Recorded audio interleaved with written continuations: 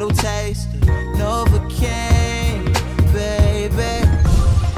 I gotta say, it feels pretty darn good sliding into this week after getting a double dose of new music from Frank Ocean. Oh yeah. Early Saturday morning, the R&B singer took over Beats One Radio's airwaves for a new installment of Blonded Radio. The episode concluded with Ocean premiering two different versions of a song called Lens, one solo and the second featuring rapper Travis Scott. Backseat, spacious, I pulled up, spacious, yeah, this ain't Vegas, yeah, this is Vegas. Interestingly enough, one Twitter user pointed out that the artwork for Lens seems to be inspired by a Kerry James Marshall painting titled A Portrait of the Artist as a Shadow of His Former Self. The second dose of fresh Frank Ocean goodness came early Monday morning when he was back on the radio, once again bringing along new music in the form of a remix of Slide on Me featuring Young Thug. Of course, the original track appeared on his 2016 streaming visual album Endless.